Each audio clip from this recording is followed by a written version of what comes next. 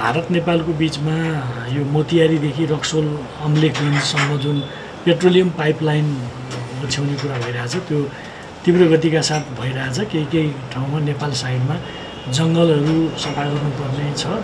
त्यो जङ्गलका कारणले अलिकति हुन सकेका छैन भन्ने कुरा राख्नुभयो। एउटा यो विषय छ।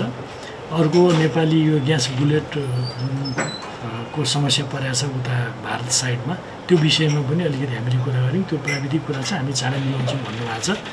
र नेपालमा एउटा खास गरी हेटौँडामा पोलिटेक्निक इन्स्टिच्युट खुलेर सञ्चालन क्रममा हामी अगाडि बढाउन चाहँदैछौँ।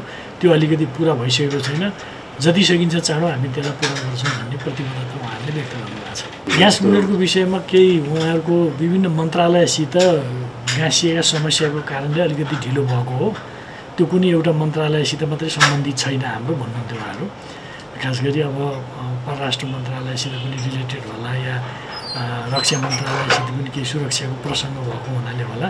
त्यो हामी मिलाउँछौँ भन्नुभएको छ